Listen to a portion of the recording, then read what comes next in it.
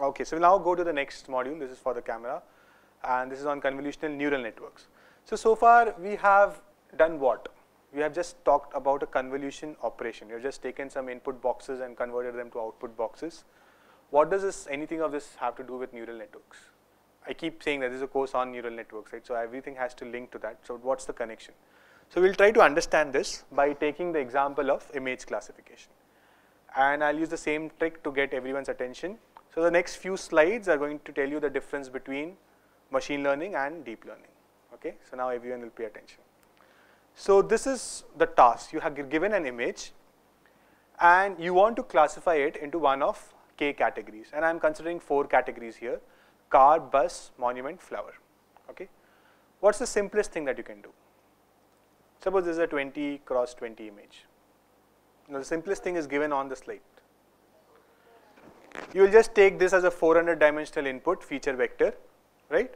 And you will treat it as a four class classification problem, train some multi-class SVM or anything on that, right? So you have a simple input. So you are given some 1 million images. All of these are 400 dimensional and they come from 1, 2, 3 or 4. These are the four classes, which is car, bus, monument and so on. So you can just treat this as an input feature vector and uh, do your classification, right? That's the simplest thing that you would do. Or else what you could do is, you could do some kind of feature engineering, right? You could say that actually this entire blue sky is not really helping me in deciding anything. These entire green lawns and all this is not helping. If monument, car, bus and flower are the classes, what I care about is the shapes. I don't care about the details inside the shapes.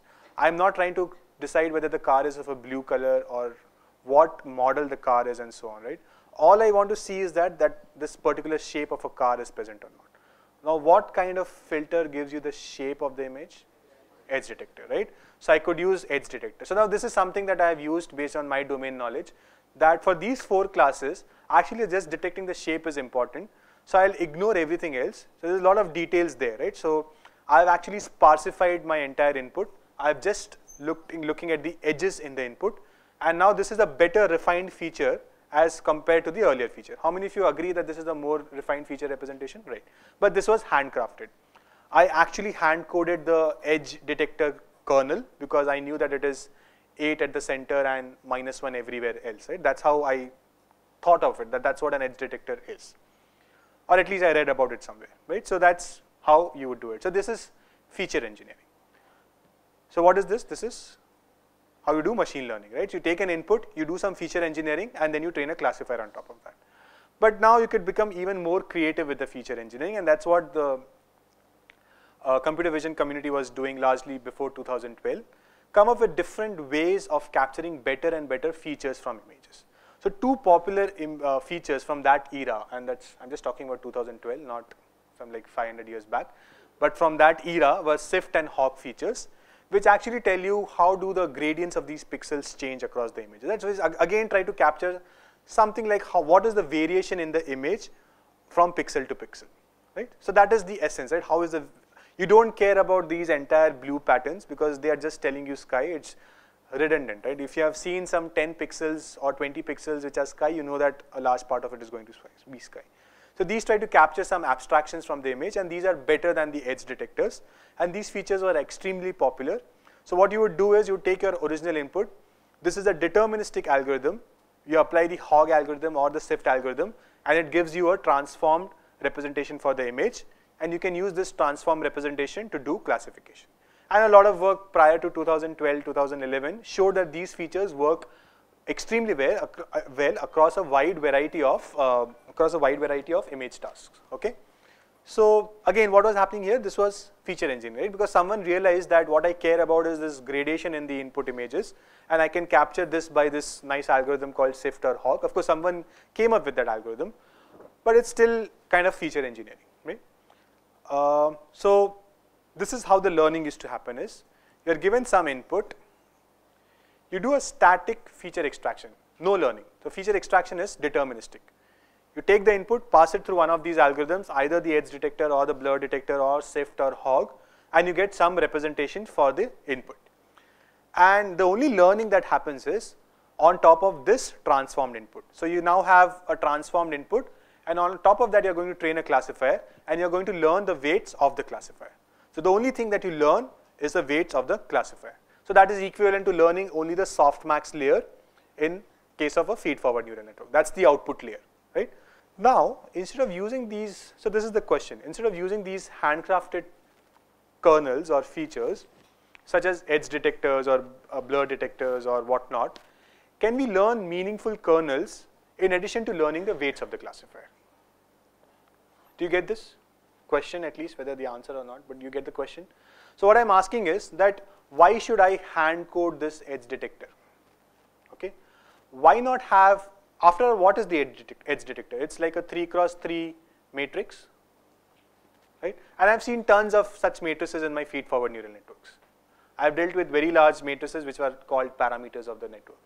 So why not have a 3 cross 3 or a 5 cross 5 or whatever dimensional matrix and try to learn what should be the right values in this matrix instead of hand coding the edge detector matrix. Do you get the idea?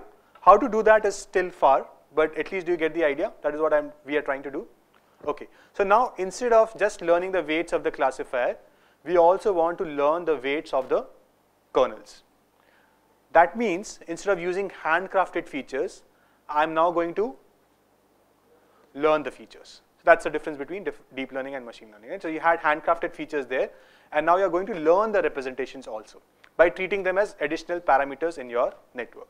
How you will do that, we will see, and it's very simple given that you understand how to train feed-forward neural networks. But then why just stop there? Why just have one feature representation for the input?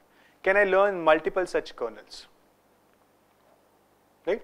I could have one 3 cross 3 matrix which learned this first representation, another 3 cross matrix which learned this another representation, and yet another 3 cross 3 or 5 cross 5 or 7 cross 7 matrix which learns this different representation. So instead of learning one static representation from the input, I could learn multiple representations from the input. In fact, why not, why just stop there? What is the next thing that I'm going to try to do? Multiple layers of features, right? So that means at the first layer, I learned this representation. Now I could take this and try to learn an even more abstract representation from there and then keep doing this to make it deeper and deeper. Do you get this? Okay. So at every stage, now I have these parameters which are helping me learn the representation of the input. I am learning multiple representations at every layer and then having multiple layers of these representations, right? And everything is learnable end to end. Okay, so you get the difference between deep learning, machine learning now. There's no handcrafting of features, you're learning the feature representation. I know, I understand there's some confusion about how you would do this, but we'll get to that. Just trust me on that, that you'll be able to figure out how to do this, okay? And all of this, we have some weight matrices here, we have some weight matrices here. These are the layer 1 weight matrices, they are the layer 2 weight matrices, matrices and these are the output layer matrices. And we see this layer wise arrangement of these weight matrices and we are very comfortable with this because we have done feed forward neural networks where we had these multiple layers and we knew how to backpropagate from the last layer to the first layer.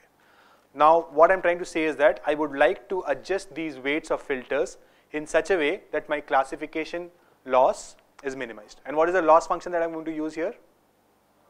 Cross entropy because this is a multi-class classification problem. Okay, So just hang on with this intuition and we'll make it more clear.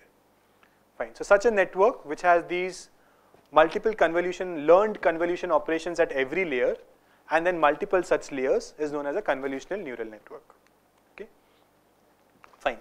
So I get this idea that we need to learn kernel filters by just treating them as parameters of the classification model. Okay.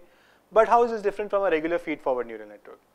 You could have taken a regular feed forward neural network and I'll show it to you on the next slide.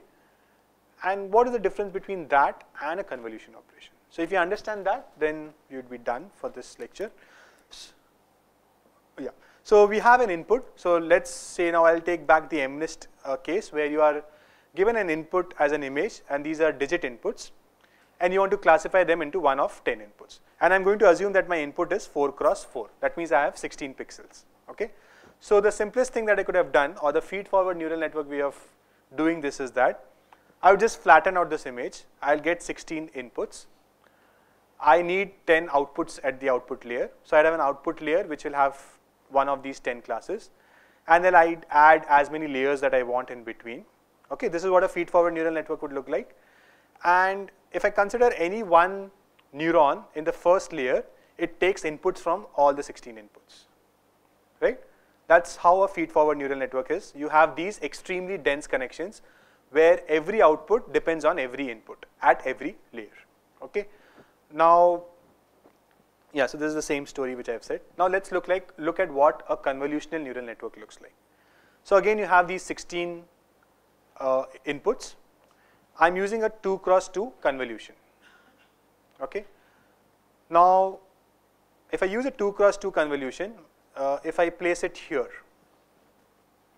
then I'm using pixels 1, 2, 5 and 6 and computing one value. So you see the difference between this and a feed-forward neural network? In a feed-forward neural network, H11 would have depended on 16 values, 16 inputs. In a convolutional neural network, it is depending on only 4, only 4 neighbors, okay? And similarly, H12, I'm using a stride of 2 by the way, right? So I'm not placing the filter here, I'm just skipping one step. H12 would depend on pixels 3, 4, 7, 8, okay? And so on, right? So one thing is clear that as opposed to a feed-forward neural network, you have sparser connections here. Is that clear? And why do we have sparse connections? Because we are exploiting our knowledge about images, that in an image, you don't really care about the interactions between on between a pixel at the leftmost left topmost corner and the right bottom corner, right? So there is sky here, there is ocean here, or there are trees here you would want to capture the neighborhood around that pixel, not really capture it with the entire image. That's why you don't want all of these 16 inputs to contribute. You only want a small neighborhood to contribute. Do you get that intuition? Okay. So this is the first property of a convolutional neural network that it has sparse connectivity. Okay. But is sparse connectivity really good? I just made a case for that and I'm going to counter argue, right? Is it really good that you have these sparse connections? Because you're losing out information, right? You're losing out uh, interactions between certain pixels. So how, why can why is that good? I'm hearing a lot of interesting answers, but remember that you're always going to have multiple layers. Okay, so this consider these two pixels. In the first layer, these two pixels did not interact because H2 only depended on these three and H4 only depended on these three. There is no eh, there is no unit here which depends on both x1 and x5. Is that obvious? Because I'm just using a window of size 3. But now once I go to the next layer, once I go to G3, G3 depends on H2, H3, H4 here, which in turn depends on x1, x2, x3, x4, x5, right? So even though at this layer, x1 and x5 are not interacting with each other, as you go deeper, these interactions become obvious. Do you get that? right? So that's why you will always use a deep convolutional neural network where all the pixels get to interact at a deeper layer. But at the more immediate layers, you just want to capture the interactions between a neighborhood. So it's like you take this neighborhood, find out something, then take neighborhoods of neighborhoods, and then try to find out something at the next layer and keep continuing in this layer. How many of you get this? Right? Okay, so this is what sparse connectivity looks like. Another characteristic of CNNs is something known as weight sharing. So let us see what it is. So remember I had considered this 2 cross 2 kernel and I was placing it at these 4 pixels which is pixels 1, 2, 5 and 6 and I was placing another kernel at these 4 pixels which is pixels 11, 12, 15 and 16, right, these 4 pixels. And I've used different colors for them indicating that these filters are different. So they are both 2 cross 2 filters but I am assuming that the values inside them are different. Does this have to be the case? Just think what a filter is trying to do. It's striding across the entire image. At every location, I want to do the same operation. Remember when we are doing blurring or edge detection or sharpening, I had the same filter which I was applying at every location. So I want to see what is the effect of this filter throughout the image. So I don't really want to change this filter. That means these four weights would be the same as the pink weights. How many of you get this? So this is the question, do we want the kernel weights to be different for different portions of the image? So imagine that we are trying to learn a kernel that detects edges. So the same kernel configuration is required throughout the image because that's the kernel configuration which will detect an edge. So you want the same kernel to be there everywhere. So we are going to share these weights. We shouldn't, there shouldn't be these pink and orange weights. We'll just have the same weights everywhere. Okay. So this is known as weight sharing. So now this is something ridiculous if you think about it. Now how many weights do I have in layer 1? 4 weights, that's all. That looks too less, right? It would lead to dash fitting, underfitting because you have very few parameters. So how do I deal with this situation? You'll have multiple kernels, right? So you'll have another kernel which detects something else. You'll have one more kernel which detects something else and you can have as many such kernels. Right? So the more the number of kernels you'll have, you'll have that many into 4 as the number of parameters and that many outputs at layer 1. How many if you get this? Okay, good. So these are the two important characteristics of convolutional neural networks. One is sparse connections and the other is weight sharing. Okay. So, so far we have focused only on the convolution operation. Now let us see what does a full convolutional neural network look like. Or maybe I'll do this next time. I think this.